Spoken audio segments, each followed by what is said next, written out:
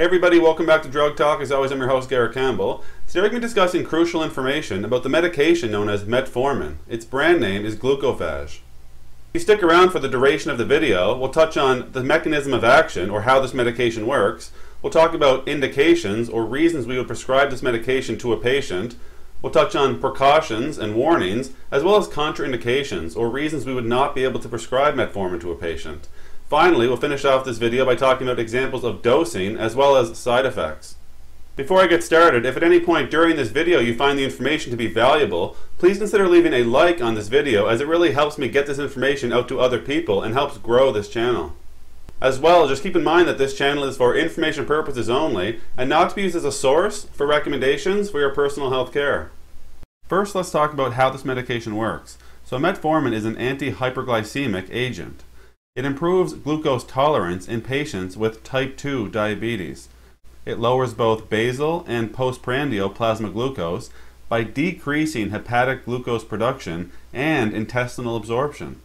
It improves insulin sensitivity by increasing peripheral glucose uptake and utilization. Metformin does not modify insulin secretion. So now that we know how this medication works, let's now take a look at indications or when we would prescribe this medication to a patient. So the most common time we see this medication prescribed is in type 2 diabetes. There's also an off-label indication that it can be prescribed to treat polycystic ovary syndrome. Now before somebody was to use metformin, there are some contraindications that they must clear. The first contraindication would be if somebody had a hypersensitivity or allergy to metformin or any other component of the formulation. It would also be contraindicated in patients with severe renal impairment, although some physicians may still choose to give a small dose. And it would lastly be contraindicated in acute or chronic metabolic acidosis. Once a patient has cleared the contraindications and is going to be prescribed metformin and start using it, there are some precautions and warnings that they should be made aware of. So first off, for precautions, it should be noted that hypoxic states, such as acute congestive heart failure, may increase the risk of lactic acidosis. Use with insulin may increase the risk of hypoglycemia or low blood sugar, and hypoglycemia may occur with insufficient calorie intake or strenuous exercise. There's an increased risk in the elderly population. Patients should be made aware that low B12 levels may occur, and we should avoid the use of this medication in patients with evidence of hepatic or liver disease due to an increased risk of lactic acidosis. And caution should be used in patients undergoing surgery. Now, after a patient is made aware of the precautions and warnings and they start to use metformin, they can expect to receive their dose orally. Let's now take a look at examples of dosing.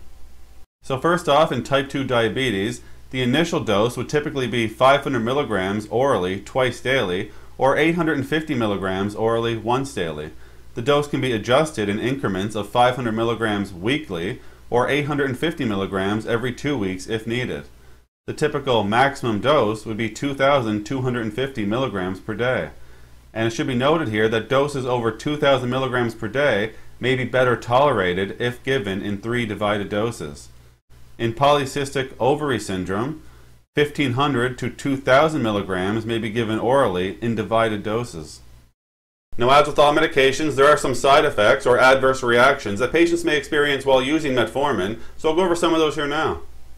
So, diarrhea may occur in 53% of patients using the immediate release formulation, while it may only occur 10 to 13% of the time in patients using the extended release version of metformin. Flatulence may occur 12% of the time, and 7% of patients may experience indigestion. Malabsorption syndrome may happen up to 10% of the time and up to 7% may experience nausea. Up to 26% of patients may experience vomiting.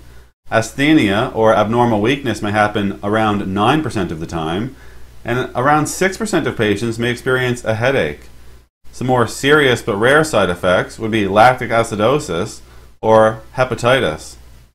That's all we're going to talk about today with metformin or glucophage. As always, I'm very thankful you took the time to come by and watch one of my videos. If you found the information valuable and you'd like to help grow this channel, you can like the videos as well as subscribe to the YouTube channel. That's it for today. Take care.